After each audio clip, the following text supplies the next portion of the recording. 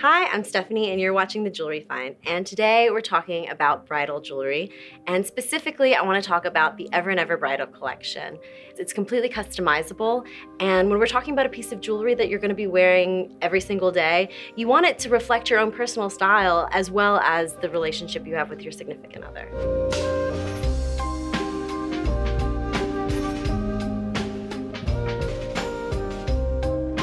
I love Ever and Ever's website. everandever.com is so accessible. If you just go online, you can pick your stone, the setting, the shape, the size, the carat weight, and it's completely customizable. You can see it change in real time on the website, which is so cool. But if you want to try it on in person, check out the collection at your local authorized jeweler. You can see it and try it on on your own hand. So today I've pulled a few of my favorite settings from the collection, but if there's something that you loved but you don't like the stone or you want a different shape or color or whatever, you can easily change that. All the designs are available in 14 karat or 18 karat, white, yellow, and rose gold, and platinum. So the first ring I want to talk about is the Nicole ring. Uh, I've pulled this one here in an oval cut, although you could do it in a myriad of different styles and it actually has a very cool detail on the gallery here with a little infinity symbol in yellow gold, although the setting is in white. So it mixes and matches beautifully with any other pieces you have in your collections. It's got a little bit of a special detail, which I really love in something that's timeless like this. You can choose a myriad of different stone shapes, including round, princess cut, marquise, emerald, heart, pear-shaped, and Asscher.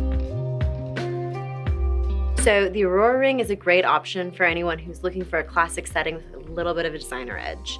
I've pulled it here in rose gold, which is, I love this blush color of metal. It looks gorgeous on all skin tones. The claw prongs give it a really lovely designer detail.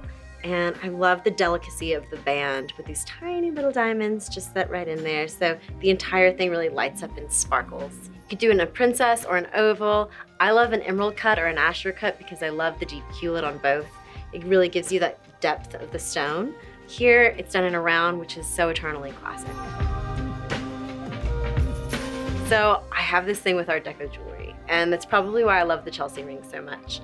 Um, I've pulled it here in yellow gold, but obviously you could do it in white or platinum. Rose gold would be beautiful. I love the architectural work in the gallery. And then here it's done in an Asscher cut and it's flanked on either side by these gorgeous trillion stones. And it really makes a dramatic impact, I think, as an engagement piece. I love the symbolism behind the Reese ring. You've got two stones instead of one, done with a split shank, and I think that the symbolism behind that is really, really beautiful because you're melding your life with another person. So each of the stones is sort of symbolic of the partnership that you're about to form. You can do this in any number of stones, obviously. Asscher cut, cushion, oval, princess. It's really up to you to choose what your personal aesthetic is for the ring.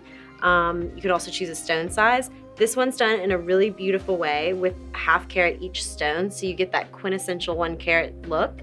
Um, but you could go bigger or smaller depending on your own personal choice. The Quinn ring is also indulging a little bit of my Art Deco love. It's set with two bezel set baguettes on either side, and then it's got this beautiful modern halo. So it's a great way to sort of mix the old and the new styles. We've done it here with the emerald cut, and that halo around it just really offsets it, gives it a lot of sparkle because the clean lines have that sort of depth. And it's just a really lovely way to mix old and new aesthetics in your bridal collection.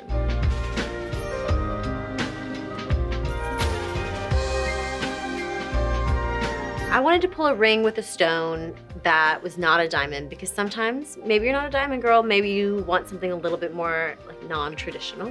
Um, and I think that the Gabriella setting is a beautiful way to do that. It's done here in rose gold with a morganite that complements the metal so beautifully.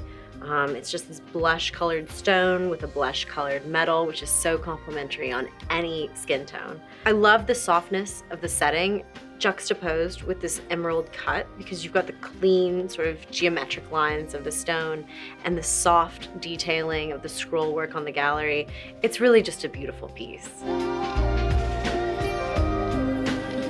If you loved any of the looks you saw today, go to the link below and customize your own ring. Make sure to like me on Facebook, Instagram, and Pinterest, and check out my new blog.